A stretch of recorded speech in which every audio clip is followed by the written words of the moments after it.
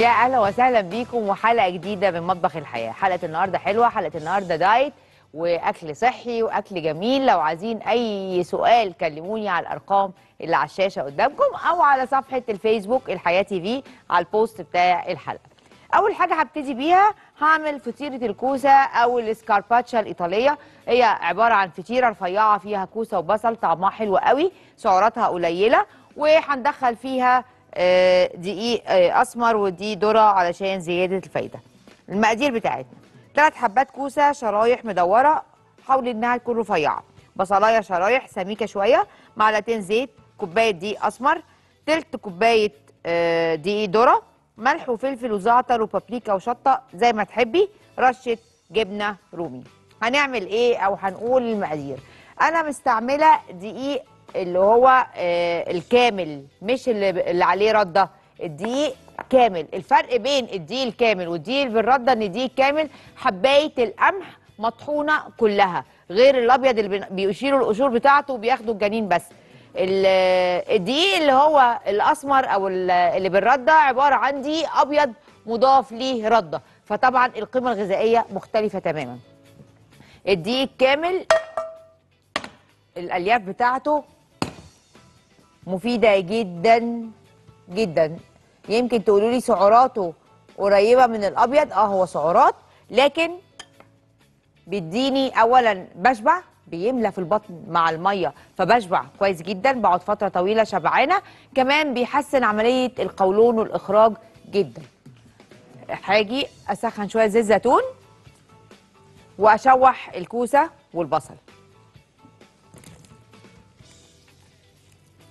الكوسه يعني حاولوا تخلوها رفيعة علشان تبقى مقرمشة. معاكم أدي الكوسة. هخليها تتشوح وهبتدي أعمل عجينة كده بسيطة. من الدقيق الأسمر ودقيق الذرة. مش هكتر الملح عشان أنا هرش جبنة رومي. رشة الجبنة الرومي دي هي سعرات زيادة لو انت عايزة تلغيها الغيها وحطي ملح آه، بطريقة عادية. أنا بعملها عشان الفليفر بحيث الأكل يبقى صحي وليه طعم بابريكا زعتر شوية شطة فلفل أسود وملح. وشوية مية دافية طبعا.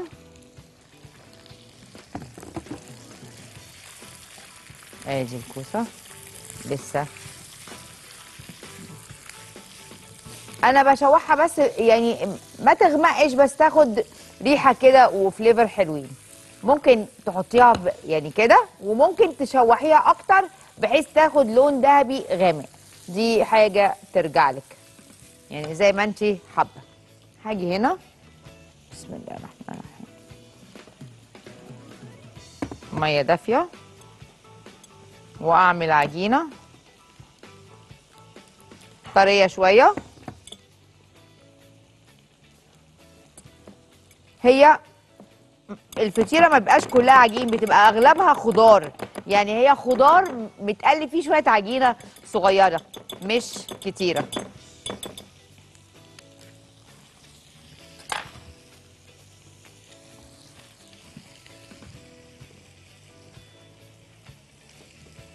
هزود مية لغاية لما تتكون معايا عجينة طرية. طبعا القرمشة اللي في الدقيق الذرة مع القرمشة اللي هتديها لها الجبنة الرومي على الوش بتبقى حلوة قوي. أهي بصوا. بتبقى طرية كده. هاجي هنا. البصل. والكوسة باخدهم وبقلبهم. بسم الله الرحمن الرحيم.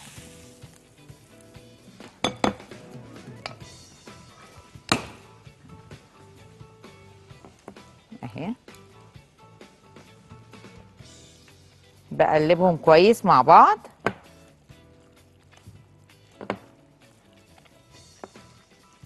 بحيث تتغطى الكوسة كويس بالعجينه العجينة واخدة اللون ده من البابريكا والشطة اللي مخليها محمرة. وأكون جايبة Pyrex.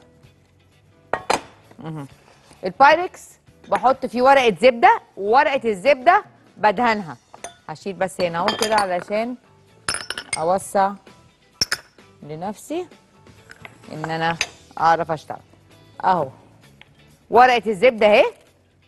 بصوا بقى أنا بدهن تحتها علشان تلزق وبدهن جواها علشان يعني تلزق في القالب وبدهن آه، فوقيها علشان الفطيرة ما تلزقش فيها خالص. يعني لو أنا حطيتها مش مدهونة تحت مش هتلزق كده. فأنا عايزاها لازقة تماما ما تتحركش. okay؟ يبقى أهي. دي لو مش مدهونة مش هتلزق. فأنا عايزة ألزقها. فلازم أدهنها من تحت عشان تلزق. وبعد كده أدهن ورقة الزبدة علشان الحاجة اللي فيها ما تلزقش okay؟ وآجي أنزلها فيها. بسم الله الرحمن الرحيم.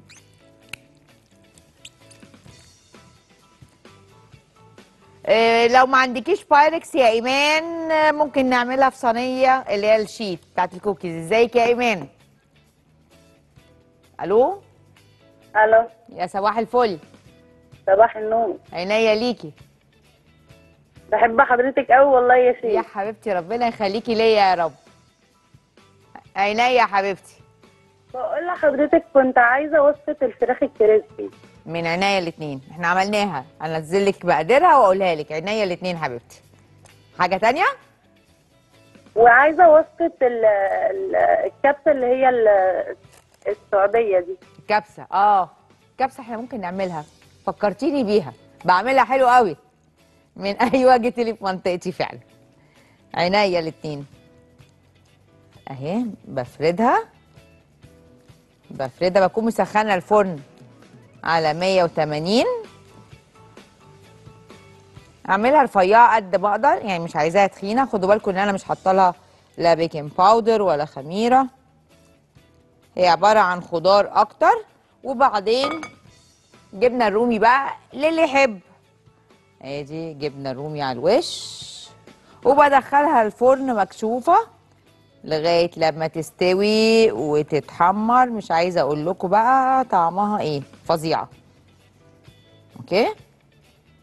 آه في في السوبر ماركت جبن قليلة الدسم. اللي يقدر يجيبها هتبقى طبعا أفضل كتير. okay؟ هندخلها الفرن. 180 رف في النص.